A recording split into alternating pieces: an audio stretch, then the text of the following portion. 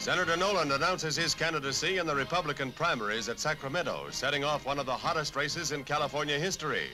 Governor Knight, the incumbent, accuses the senator of seeking the governor's office as a stepping stone to the Republican nomination for president in 1960.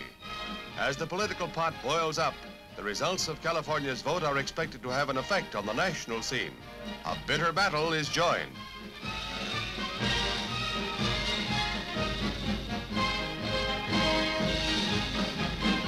Meanwhile, California's Attorney General Edmund Brown, who is running unopposed as the Democratic candidate, sits quietly on the sidelines, quite content with the situation as he finds it.